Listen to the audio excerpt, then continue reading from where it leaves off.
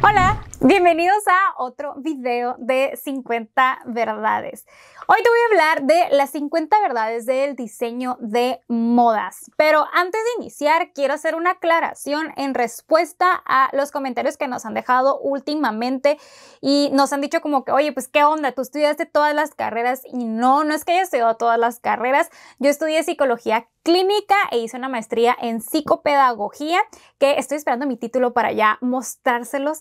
Este, pero no, no es que yo estudiado todas las carreras, no es que yo estudié psicología y medicina y arquitectura y ingeniería mecánica, ingeniería mecatrónica, no. Más bien lo que hacemos, el proceso que seguimos para poderles presentar estas 50 verdades es que entrevistamos a gente que está estudiando o ejerciendo o, y, o ejerciendo esta carrera. Entonces, a través de estas entrevistas y obviamente de investigación extra que hacemos, les presentamos las 50 verdades entonces yo soy así como la vocera de lo que me dicen eh, a las personas a las que entrevistamos, pero no es que yo haya vivido en carne propia todas las carreras que les vamos presentando. Entonces, quería hacer la aclaración para que entendieran que no, no es que yo haya estudiado todas las carreras del mundo. Ojalá por el momento solamente he estudiado una carrera que es psicología clínica, pero pues bueno.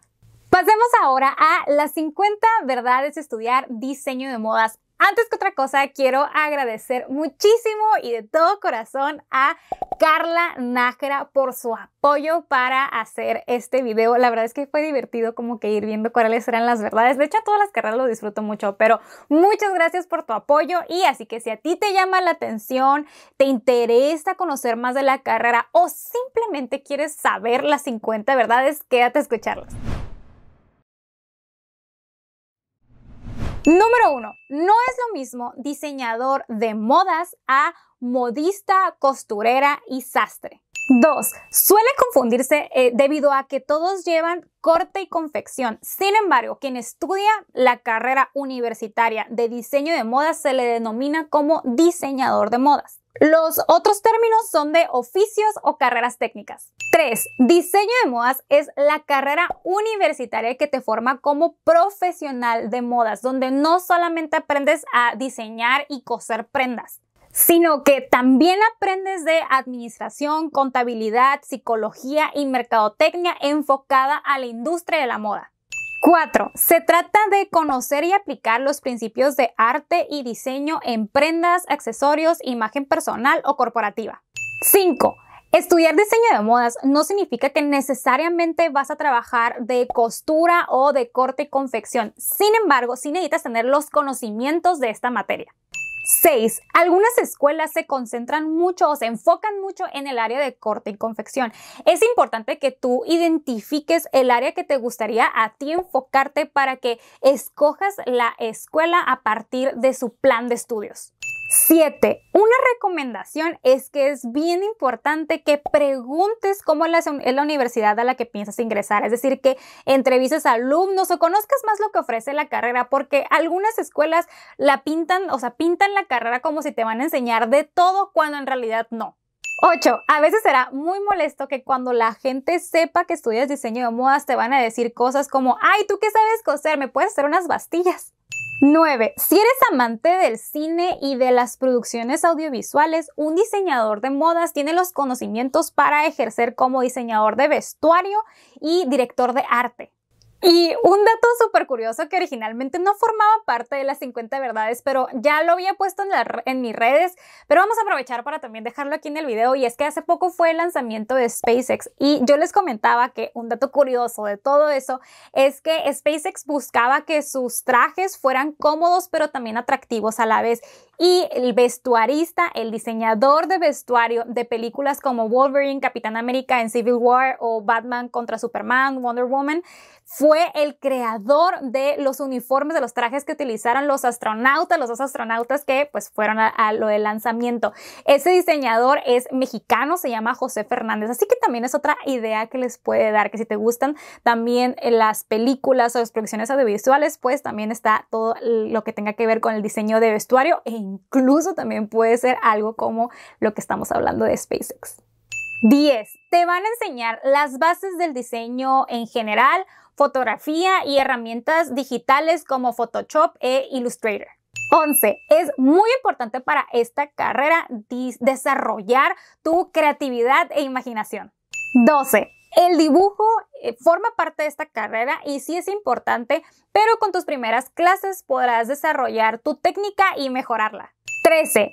Siempre habrá compañeros que dominen la costura desde antes de entrar a la universidad. Aquí la cosa es que no te desanimes ni presiones. Aunque tú entres de cero, te van a enseñar todo sobre corte y confección en la carrera. Sé paciente contigo misma o mismo.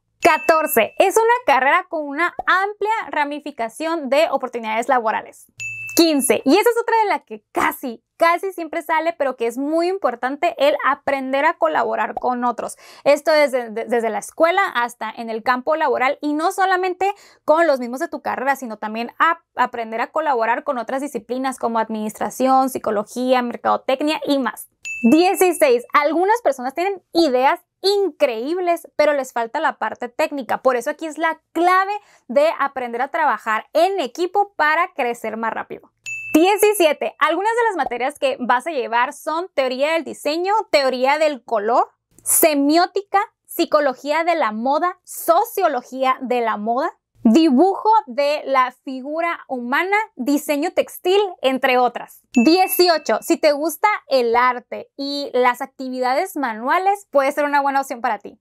19. Te va a pasar que cuando desarrolles tus proyectos trabajes con materiales en los que te puedes ensuciar la ropa, picar, lastimarte, cortarte y de hecho hay algunas personas que hasta tienen como su uniforme para hacer las cosas. Allá saben la camiseta que van a usar, hasta los zapatos que van a usar para ponerse a hacer sus proyectos.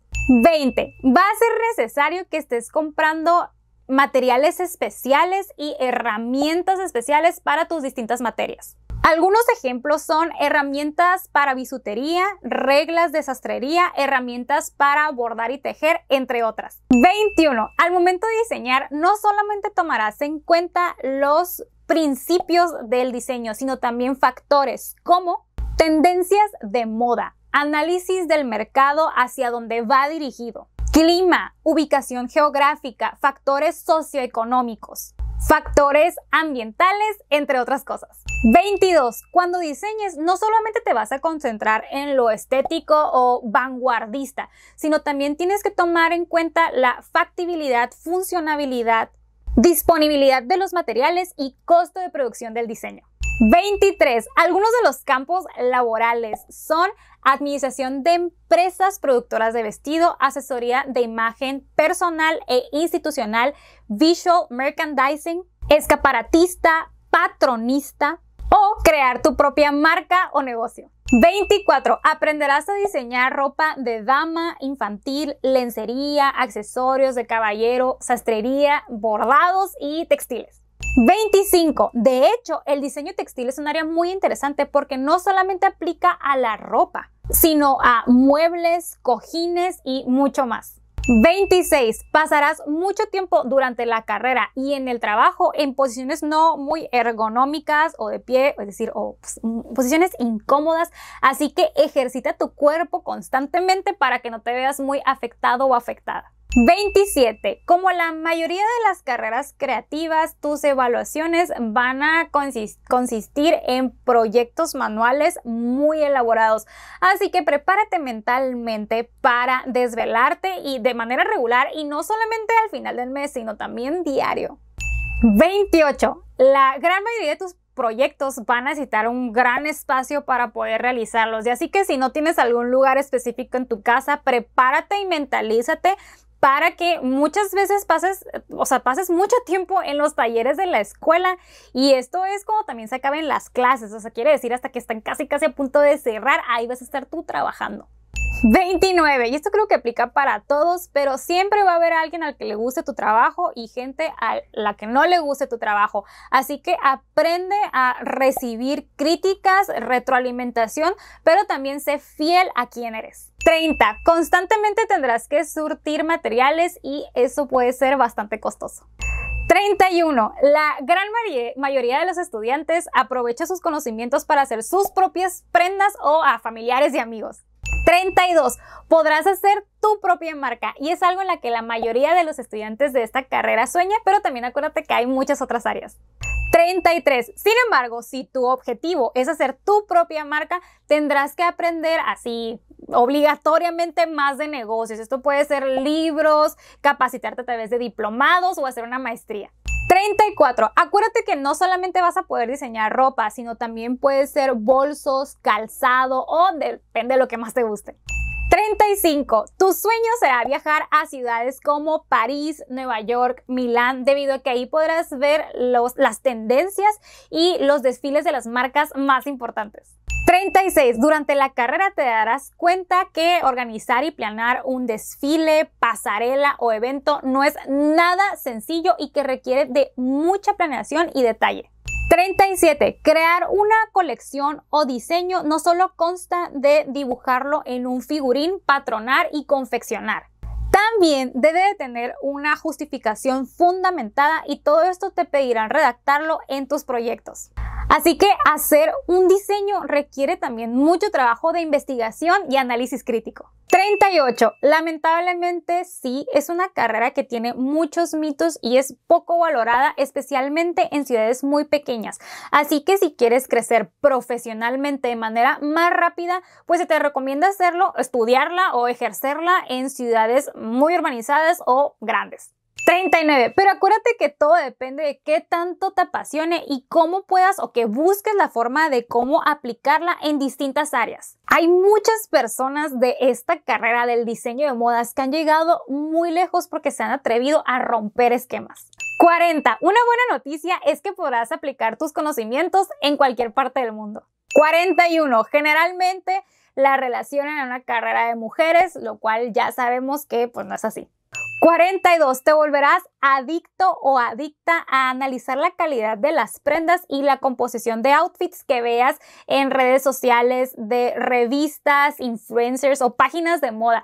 O sea, realmente va a ser algo en que le vas a tomar mucho tiempo, lo vas a hacer de manera constante y obviamente es a tu tiempo libre. 43. Los eventos como los Oscars o Met Gala será tu momento para eh, ver qué están haciendo otros diseñadores y analizar qué hubieras hecho tú en tu caso, ¿no? Si tú hubieras estado ahí. También servirán como una gran fuente de inspiración para las cosas que tú diseñes. 44. Te convertirás en un conocedor o conocedora de materiales, siluetas, cortes y tipos de cuerpo. Así que tendrás una debilidad por las prendas, sean caras o sean baratas. Vas a elegir prendas que verdaderamente llamen tu atención y estén bien hechas. 45. La tecnología también forma parte de la moda y la ha ido cambiando. Acuérdate que el diseñador de modas puede trabajar en muchas áreas. 46. Otra cosa que tendrás que conocer es la historia de la moda. 47. Ojo, en los primeros semestres sientes que no estás aprendiendo mucho o quisieras ir mucho más rápido. Ten paciencia.